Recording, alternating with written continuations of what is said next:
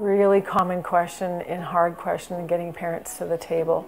First thing I suggest to young families is have a business plan and a vision of what they themselves want so that when they approach the parents, they can explain their why it's so important for them to come to the table to talk. And the other encouragement I give to young farmers is remember or think about what it would be like to be your parent. So the ability to put yourself in the other person's shoes. Getting parents to the table is just being very clear about why it's so important for everyone to have that conversation.